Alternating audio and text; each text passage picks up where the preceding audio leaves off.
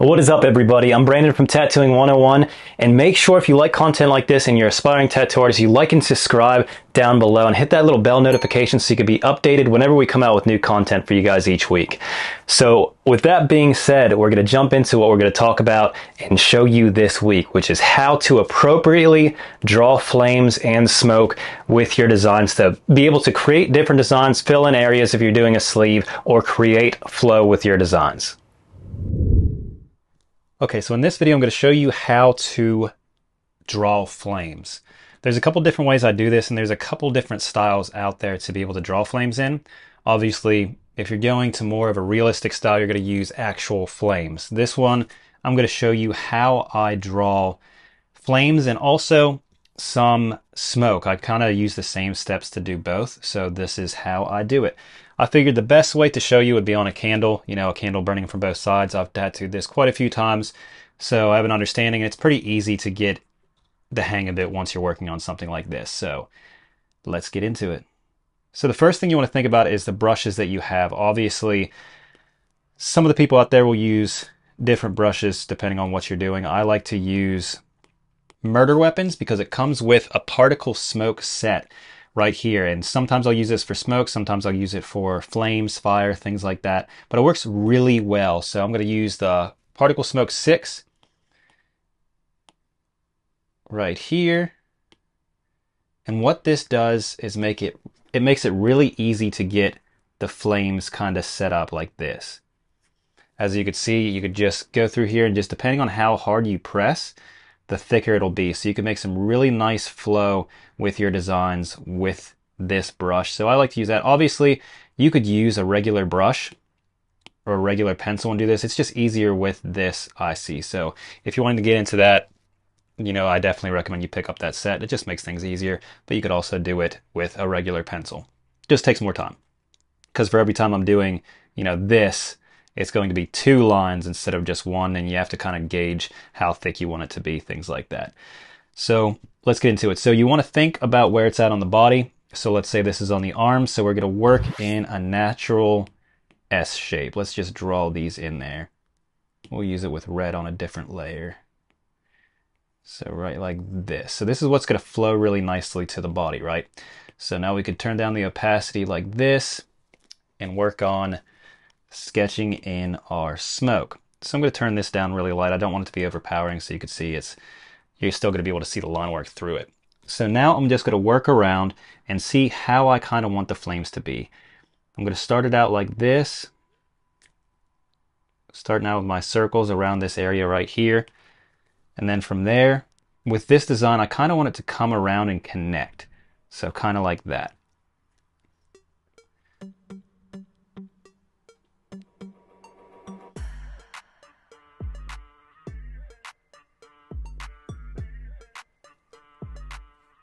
I like that. And we could add some detailed line to the flames like this.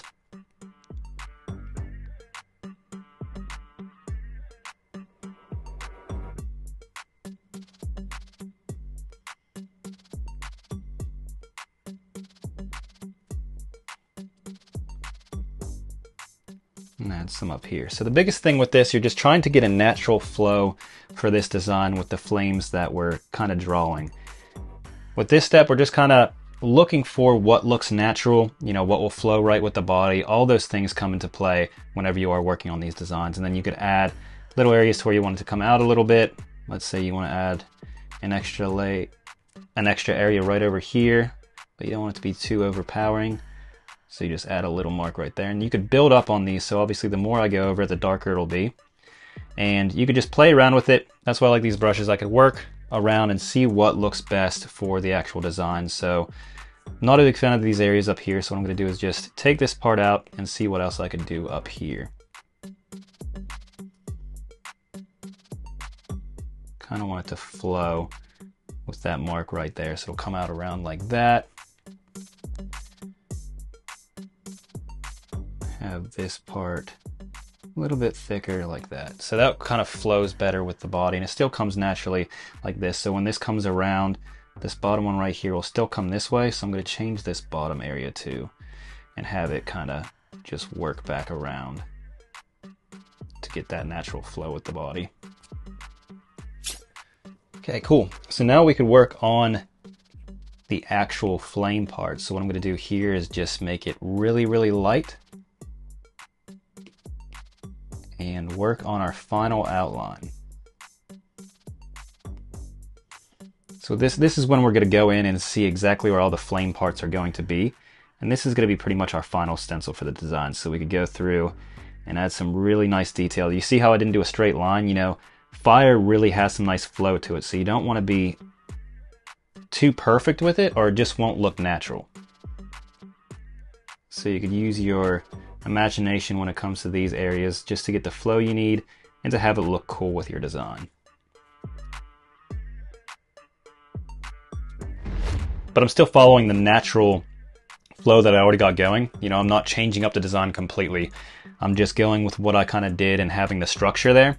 That makes things a whole lot easier because I know exactly what to follow. I could just go through and do, you know, my little designs to it to make it look more, just to make it look cooler. So right here, I could do a little break. Have some skin tone showing through right there.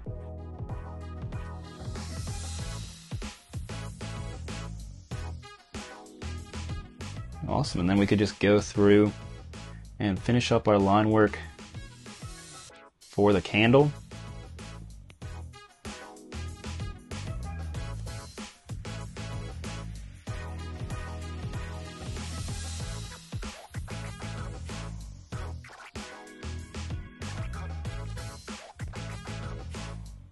Don't forget the top part. And there we go. That's how I draw flames. I'll show you quickly exactly how I would do the smoke part. Obviously with this design, this outline I only put here as a reference. I would actually go in and do the candle in a black outline and do the red for the fire outline. But what the way I do smoke is, let's say it's the exact same design, but I want to do smoke like it's blown out instead of actual fire.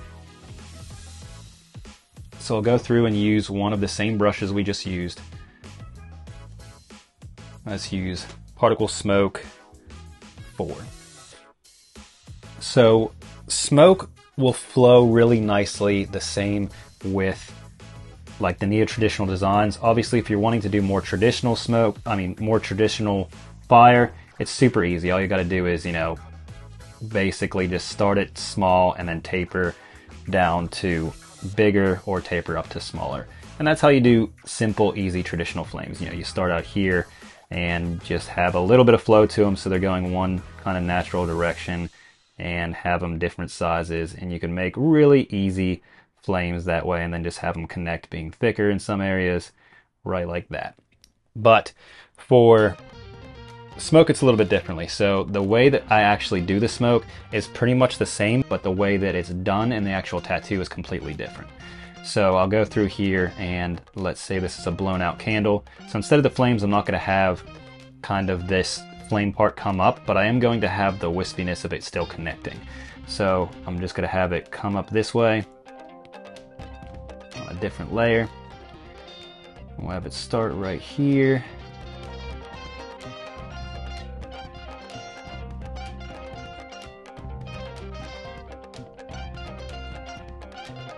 and it's still going with the natural flow of the body. So we're still kind of sticking with that kind of same plan, but it's just going to be done differently for the actual tattoo.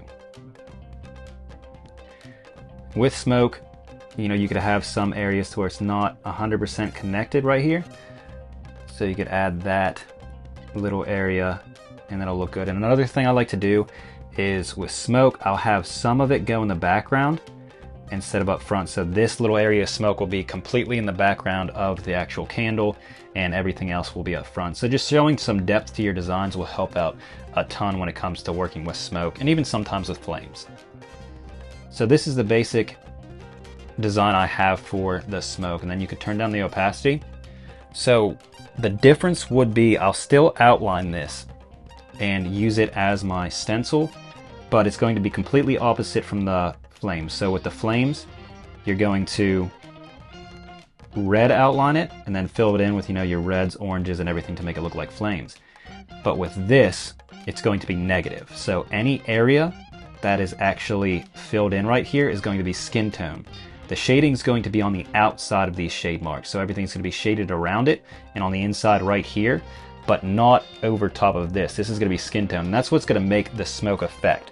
So everything that you're doing on your stencil, let's say we go through here and turn down the opacity and on another layer, we're going to outline the smoke with our regular pencil so we could actually make it into a stencil. So we're going to go through here, you know, outline our smoke.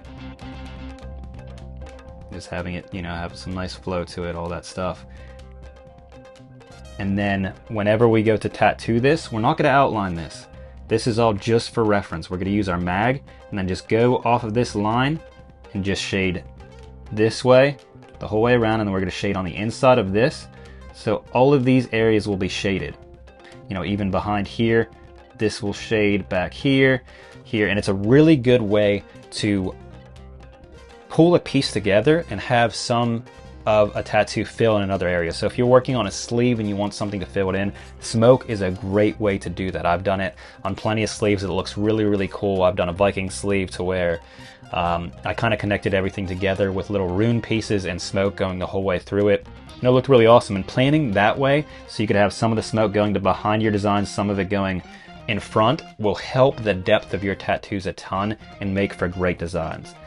Also, one of the biggest struggles I had when I first started out was not only drawing, but being able to do perfect line work. So it's really important to learn your line work before jumping into trying to do shading, all of these things. The best thing you could do for that is check out our line work secrets. All you have to do is click the link in the description below, type in some information, and we'll send you a free copy straight to your email. So definitely check that out. I hope it's able to help you guys along your journey of being a tattoo artist. And thank you so much for watching. I hope to see you on the next video. You have a wonderful day.